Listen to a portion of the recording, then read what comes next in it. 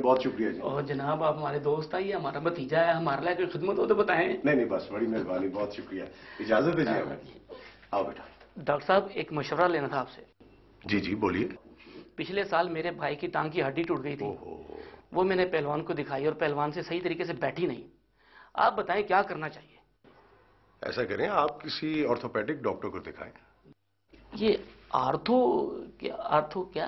ये वो हड्डियों के डॉक्टर जो होते हैं। तो आप किस चीज़ के डॉक्टर हैं? आ, मैं जी जच्चा बच्चा औरतों की खास इमराज है उनका डॉक्टर हूँ मैं। हैं जी? हाँ जी। इजाज़त है हमको? आओ बेटा। थैंक यू बहुत शुक्रिया।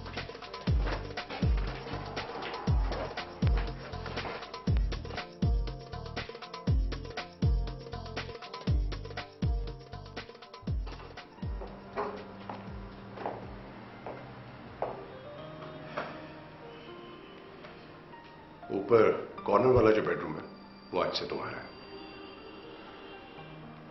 कुछ मत सोचो। मगर कुछ मत कहो। ऊपर जाओ खाना वाना खाओ और आराम करो जाके। Okay dad.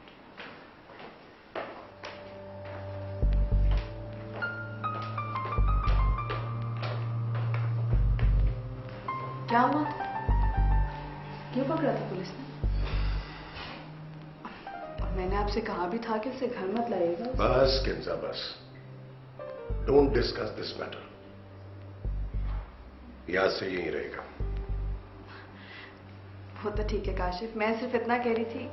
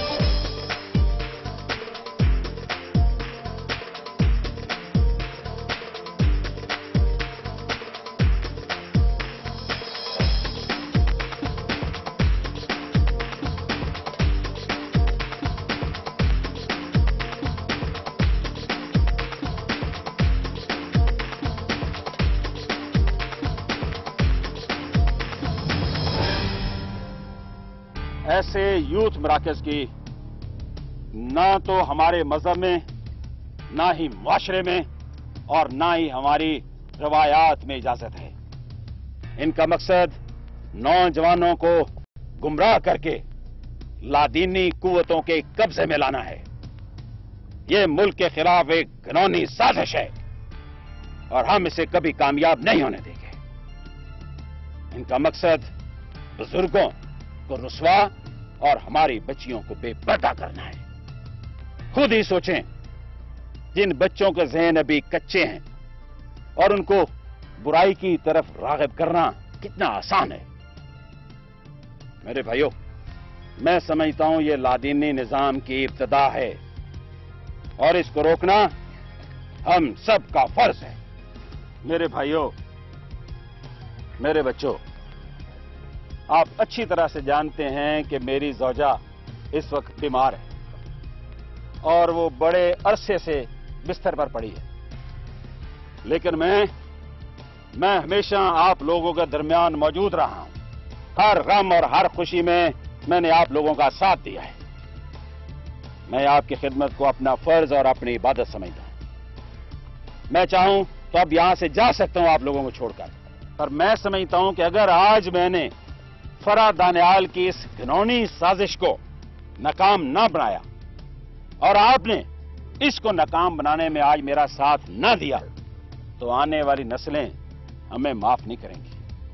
ना वो मुझे माफ़ करेंगी और ना ही वो आपको माफ़ करेंगी। मेरे अज़ीज़ साथियों, फरा दानियाल की इस साजिश को समझो। और मैं आपसे हाथ जोड़ के ये इल्तमास करता हूँ। कि अपनी रवायात और अपने मुआशरे को ऐसी लादीनी हरकतों से पाक रखें। इसी में हमारी हमारे खानदान और हमारे मुआशरे की सलामती है। चौधरी का का कबीर। जिंदाबाद। चौधरी का का कबीर। जिंदाबाद। चौधरी का का कबीर। जिंदाबाद। दो खबरें एक अच्छी एक बुरी। पहले कौन सी सुनाओ पहले या बातें सुनाने से कुछ फ़र्क पड़ेगा। हम्म, तो फिर सुनो। निकी और शेरी की शादी नहीं हो रही। ये तो बुरी खबर है। और अच्छी क्या है? दफर ये अच्छी खबर थी। बुरी खबर ये है कि काशिफ शेरी को घर ले आए और अब वो मेरे साथ रहेगा। मेरे ख्याल में ये अच्छी खबर मुझे समझ नहीं आती। तुम जैसी इडियट लड़की मेरी दोस्त कैसे है? मजबूरी है तुम्हारी, क्योंकि तुम्हारा कोई दोस्त जो नहीं बनना चाहता। शराब वैसे मैंने ठीक कहा है, पहली खबर बुरी और दूसरी खबर अच्छी है। बेकार बातें मत करो। सुन तो लो। किंजा, मेरी बात सुनो। बोलो, देखो, अगर निकी और शेरी की शादी हो जाती तो नाहिद वाला खतरा तुम्हारे सर से टल जाता। लेकिन अगर अब उनकी शादी नहीं हो रही तो ये खतरा तो तुम्हारे सर पे लटका रहेगा। समझ आई?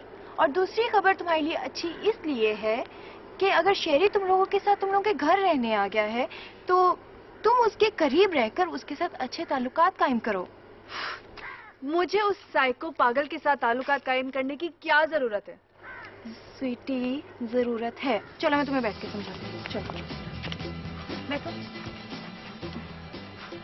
देखो तुम्हारे लिए बड़ा खतरा नाहीद है शेरी नहीं है ना? हाँ। तो तुम शेरी को नाहीद के खिलाफ इस्तेमाल कर सकती हो। किस तरह? उफ अब मुझे समझ नहीं आ रहा कि मेरी इतनी नालायक दोस्त कैसे है। बेकार बातें मत करो। मुझे ये बताओ कि मैं शेरी को नाहिद के खिलाफ किस तरह इस्तेमाल कर सकती देखो तुमने मुझे बताया था कि नाहिद और काशिफ भाई नहीं चाहते कि निकी और शेरी की शादी हो। हाँ तो? तो शेरी चाहता है कि किसी भी सूरत उसकी निकी से शादी हो जाए और नाहिद निकी की ममा जिनसे तुम नफरत करती हो वो फ़िलहाल इस रिश्ते के लिए राज़ी नहीं। तो शेरी की नज़र में बुरा कौन हुआ? नाहिद! तो अब तुम्हें क्या करना है?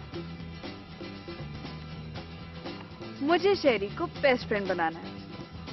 मस्त है बेबी हम्म, आज मुझे पता चला कि तुम अब तक मेरी दोस्त क्यों हो? सिर्फ़ आज के दिन 谢了。